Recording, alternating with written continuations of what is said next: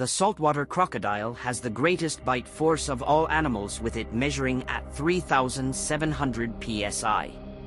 That's stronger than a Rottweiler and hyena or even a great white shark.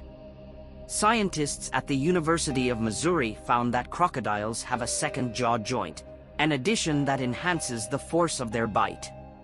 The second joint works by distributing force, which stops it from twisting or losing its grip.